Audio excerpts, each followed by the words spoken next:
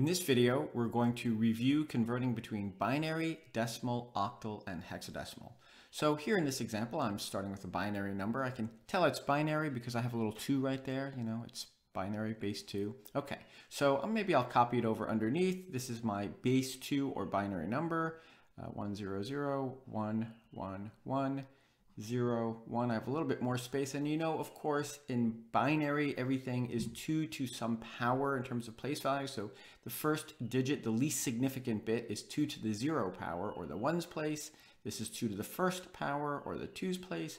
2 to the second power, or the 4's place. And you know how this works. It doubles every time. That's my 8's place. That's my 16's place. 32, 64, 128th place. This should be very familiar to you. So to find out the decimal equivalent, I just have to add up every place that I have a 1. So I have 128 plus 16 plus 8 plus 4 plus 1. And if I put that in my calculator, I get the decimal value of 157, right? I'm just adding up every place value where I have a 1. 128 plus 16 plus 4 uh, plus 8 plus 4 plus 1 is 157. That is my base 10 value. I'll put a little 10 right there. Now convert, uh, converting to octal, you know there's a shortcut going from binary directly to octal. Every three binary digits is one octal place, right? Because every three binary digits is really some number between 0 and 7. That's eight possible values. That's one octal digit. All right, so I'm grouping them in terms of three. Uh, one's place, two's place, four's place. So this is a five actually. And I'll get the next group of three. You always group them from right to left here. And now again, I have to consider this the ones place, the twos place, the fours place, right? I forget about these numbers up top.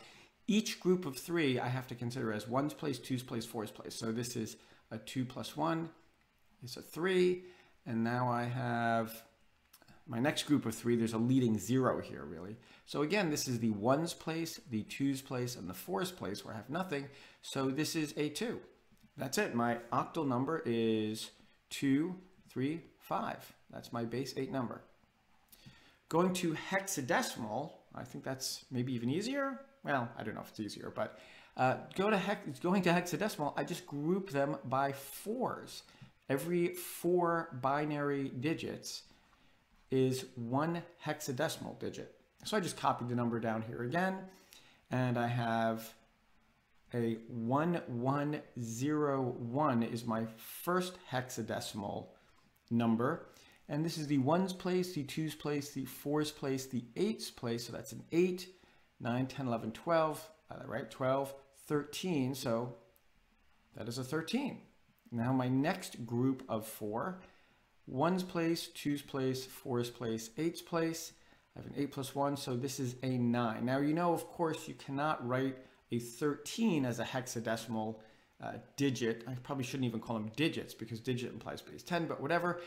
13, I have to express as a letter. You know how hexadecimal works, right? 10 is an A, B is 11, so A, B, C, D, E, F. I want a 13, so that's 10, 11, 12. 13 is a D, so really I need to write 9D. That is my base 16 number. In the second example, I'm given a base 10 number and I need to convert it to binary, octal, and hexadecimal. So converting to binary is pretty simple. I'm just going to write out all the place values that I might need. So let's just do ones place, twos place, 4, 8, 16, 32, 64, 128. I keep going until I get something bigger than this number here. Now I don't need anything in the 128th place. I'll just fill in a zero. Uh, I am going to need a 64 and let's see what I have left. So 105 minus 64, uh, oops, that is 41. So I have 41 left. So let's see, 32 and 8 is 40 and one more. So the rest are zeros. Now, if I go through and add these up, let's see, 64 plus 32 plus 8 plus 1, that should give me 105, and I believe it does. So let me copy my binary number here. I have 0, 1, 1, 0, 1, 0, 0, 1. That's my binary number. Uh, now I'm going to go to octal. Now we just did this above. You know how to do this. I'm going to group them in terms of threes there. So ones place, twos place, fours place. That is a one. Maybe I'll just write it down there. Uh, again, ones place, twos place, fours place. So four plus one is a five. And then again, ones, ones place, twos place, fours place. I just have a one there. So my octal number is 151. That's base eight. Now to go to base 16, of course, you just group it by fours. Maybe I'll use this one right here. That's a nice group of four. That's a nice group of four. So ones place, twos place, fours place, eights place. So I have an eight plus one is a nine. Ones place, twos place, fours place, eights place. So I have a four plus a two is a six. Six, nine, that is it. That is my base 16 number. In this last example, we're given a hexadecimal number and I need to convert it to decimal, binary, and octal. So let's first convert it to decimal, of course, and maybe I'll write it underneath here. So A, D, D, add, isn't, isn't that clever? So in base 16, every place value is 16 to some power. Obviously, 16 to the zero power is one. Anything to the zero power is one, of course. 16, this is 16 to the first power, or 16 this is 16 to the second power. 16 squared is 256. And of course, if I had another place value here, it'd be 16 to the third power. There'd be some big number. So uh, really, I have uh, an A in the 256th place. Now, an A, of course, is a 10. And maybe I'll just list them on the side here. A, B, C, D, E, F, right? A is a 10 in hexadecimal. B is an 11, 12, 13, 14, 15. So I have uh, a 10 times 256 or 2560 is really what this is. I have a D, which is a 13 in the 16s place. So I have really 13. I'm going to have to use my calculator here. 13 times 16 is a 208. This is really a 208 right here. 208 and then I have another D, uh, which is a 13 in the ones place. So this is a 13, right? So hopefully that makes sense. I'm just going to add all these up. 2560 uh, plus 208 plus 13, and that is 2781.